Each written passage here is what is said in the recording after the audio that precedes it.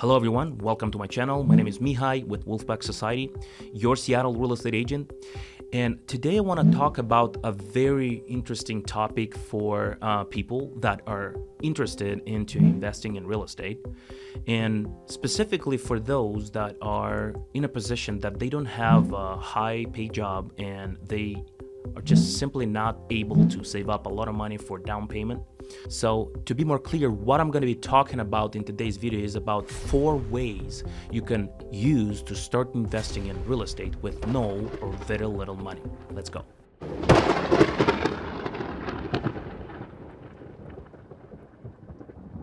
So, I'm going to go straight to the point and I'll start with the first method that you can use, and this is uh, house hacking. So uh, you can buy a multifamily property uh, with as little as 3.5% down payment and you use it as a primary residence. Let's say you buy a triplex.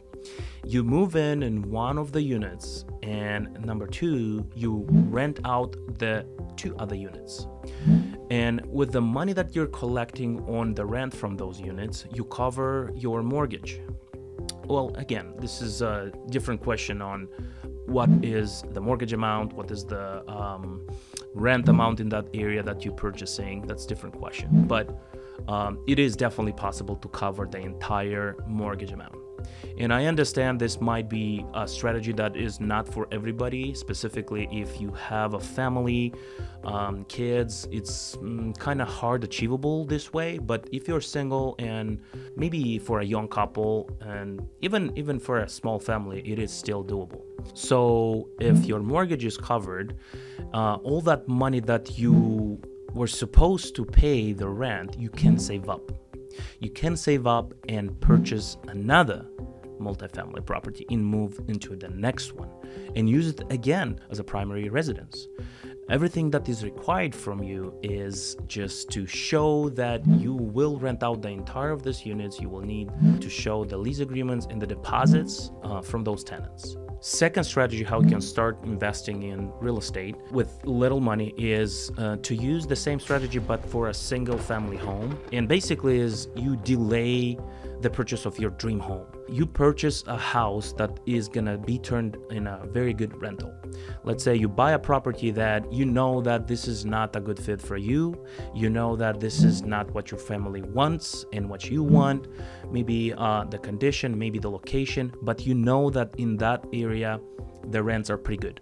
So you live in that property for a couple of years and then you rent it out and you move into the next property through the same strategy. You put the 5% down payment for the next property and you rent out this one.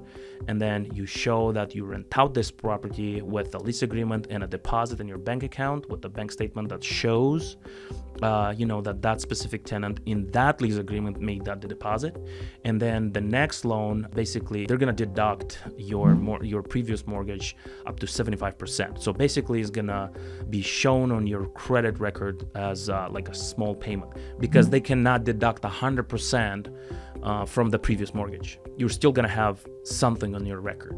Next strategy is uh, live in house flips. And if you were a handy guy and uh, your family status um, allows you to move into a property that requires like a lot of updates.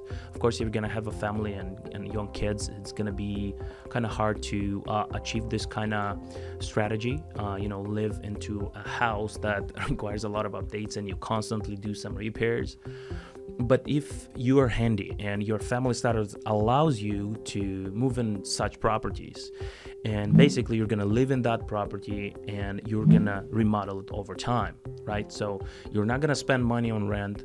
You will pay your mortgage during this time and uh, you will do improvements over time. So after the house is done completely uh, you can uh, you know sell it for top dollar and then buy the next property and do the same way so uh, here's another strategy for you Next one is master lease option. Uh, this one is a more complicated strategy, uh, how you can invest with almost no money at all. And that is more concerned about apartment buildings, commercial buildings, stuff like that.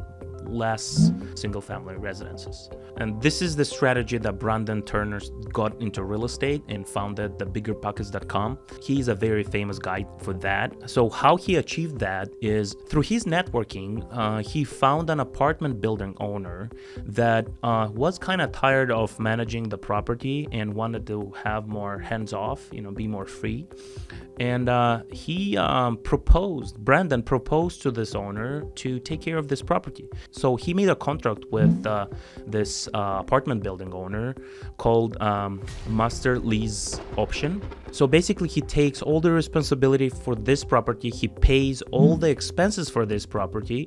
He pays taxes. He pays uh, insurances also, he collects the rent from these tenants, but a portion of this rent is going to the building owner. So, with the money that he was collecting from rent from these tenants, uh, he was saving up for the down payment because this contract in the end has an option of purchase. So the money that, that he collected from um, from this building, he basically uh, purchased this property from that guy. This strategy is very similar to seller financing, except there is no ownership or title transfer during the MLO term.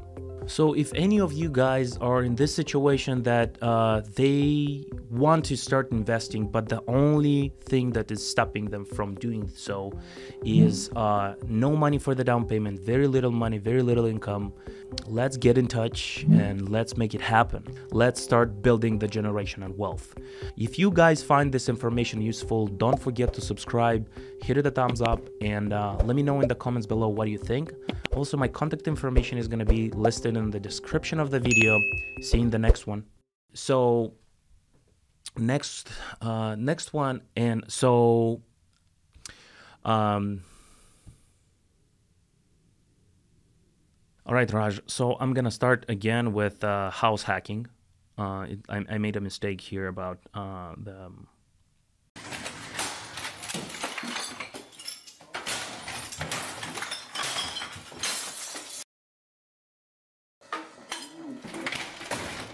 Oh, actually, no.